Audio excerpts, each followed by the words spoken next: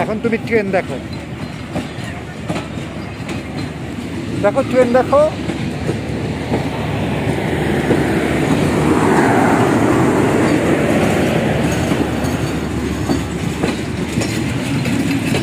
আগে কানে হাত দিতে হবে না বাবা, দেখো।